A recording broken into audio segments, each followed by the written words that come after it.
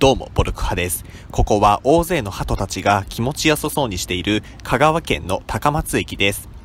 私もここで気持ちよく寝っ転がりたいところですが、今回は高松駅から1日3本だけ出ているとんでもなく長い長距離普通列車、かっこ訳ありに乗ってみようと思います。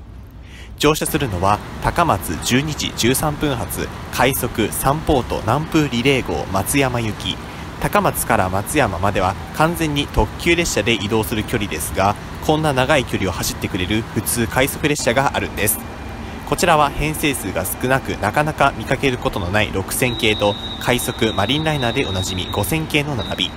JR 四国は JR で唯一形式が私鉄みたいにキリがいいのが特徴ですね。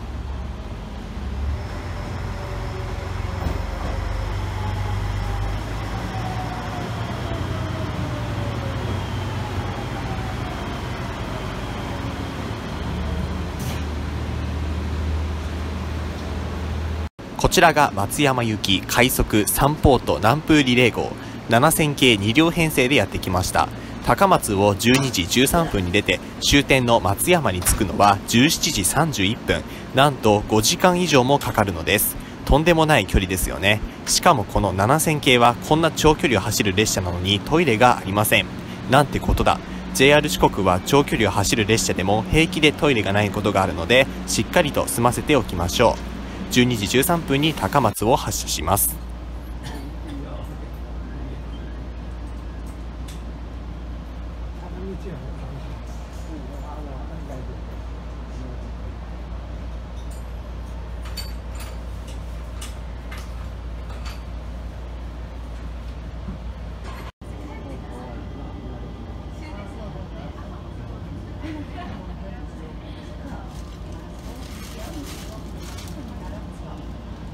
途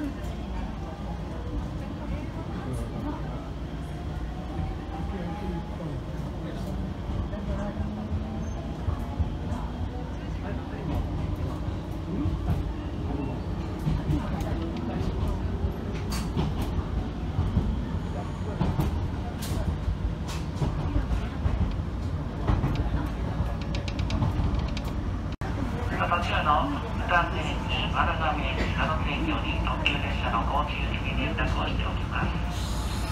途中、境口は12時29分、宇多津12時34分、丸亀12時37分、佐野津12時43分、佐久間12時53分、高瀬13時ちょうど、関門寺13時15分、青梅13時55分、清見島14時2分、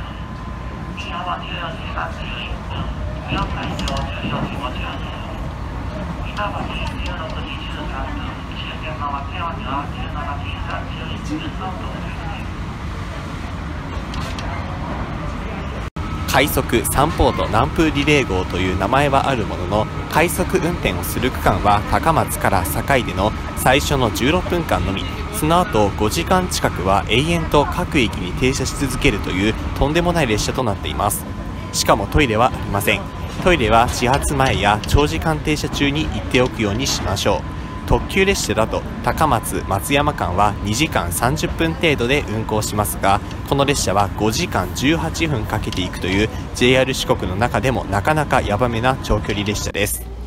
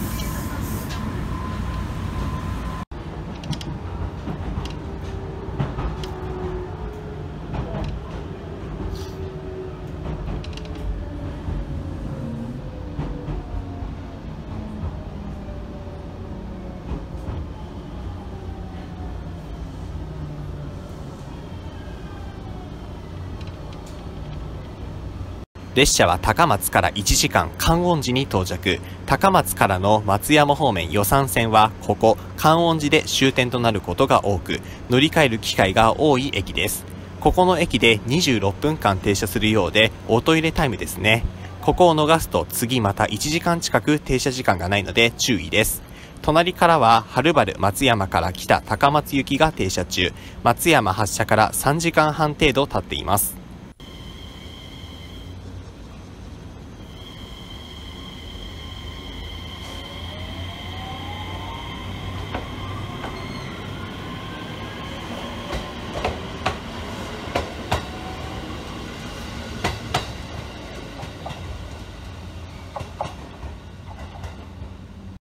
そして観音寺からはワンマン運転となるため2両編成だった列車の後ろの車両が締め切り扱いとなり実質1両となります。JR 四国では車内を締め切りとし回送車両扱いというすることがよくあります。ここからはさほど混雑しない区間なので仕方ないです。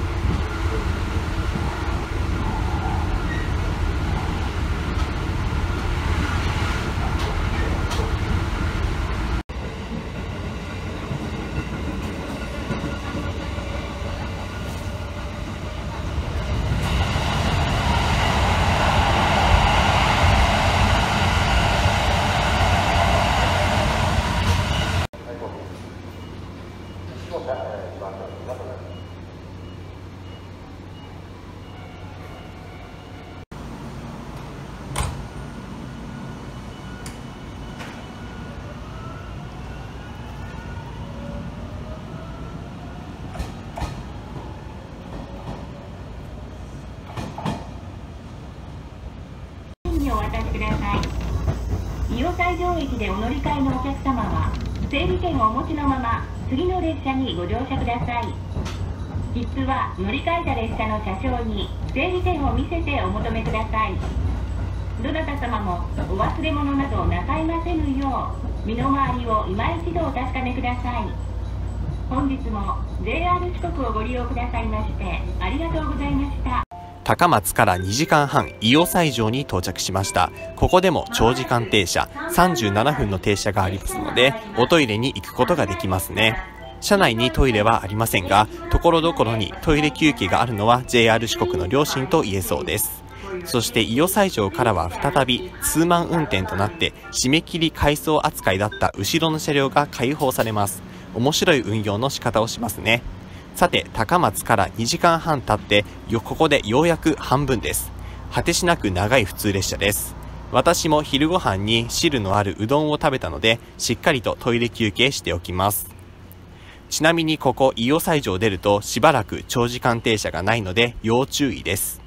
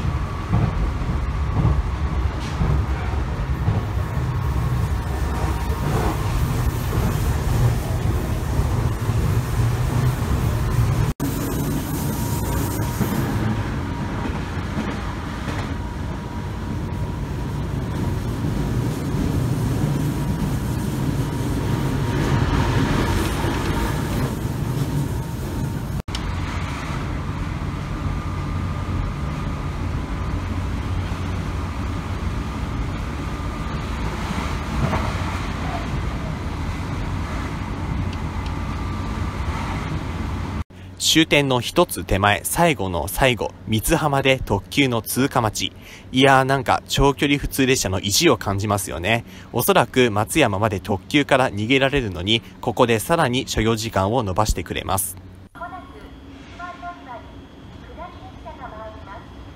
危険ですから危険の下を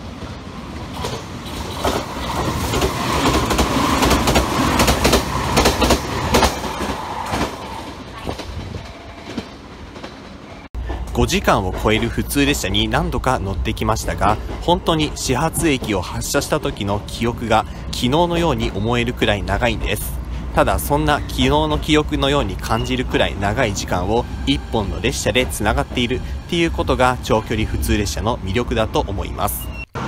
途中観音寺伊予西条三津浜で長時間停車があったので気分転換しながら松山まで乗り通すことができました皆さんも時間が許す限り高松から松山まで乗り通してみてくださいね